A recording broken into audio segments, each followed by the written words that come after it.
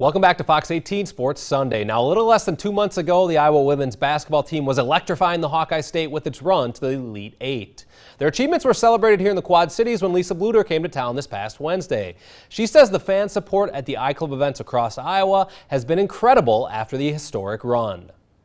You know, it's it's been fun just because, you know, just to share this with everybody. You know, everybody got behind our program so much. Um, we broke NCAA records for first and second round attendance. I mean, just smashed it. And so, you know, have that many people come out and just share with us the joy of our team and watching Megan play. Um, you know, I could do that over and over again. And then now she's going to hang up in the Raptors her numbers. Just what was, I guess, behind that? How much were you involved, and just how, I guess, proud are you that they're going to do that?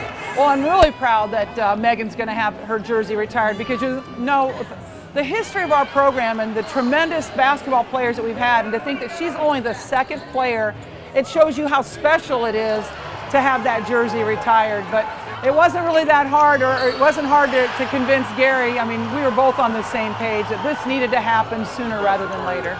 And along those, how do you replace not only Megan but Tanaya and Hannah? Yeah, we yeah we lose a, you know a big three, uh, a lot of our offense. But you know something um, we have four incoming freshmen. Uh, we've got Kathleen Doyle back, who was a first team All Big Ten selection. We have Makenzie Meyer back, who has tremendous experience. So we're going to be a different looking team next year, uh, but I think the culture is still there, the hard work is still there, and so I have high expectations still. Have you noticed this run maybe help recruiting at all? Have you been able to maybe get in a few more doors or a few more ears just because of the, the Elite Eight run? You know, I think um, what it did was uh, a lot of people had uh, more opportunities to see us play on a national level and play at a very high level. And I think what they saw was the joy that our team plays with and the chemistry that we have. And that's attractive to a lot of people. They want to be a part of that. So I definitely think it's helped.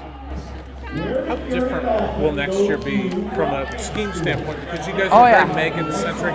It seems yes. like you guys will be more perimeter. Absolutely, there, there's no doubt. In, uh, Kate Martin too. Right, there's no doubt that we're going to be a different looking basketball team next year, especially offensively, just because.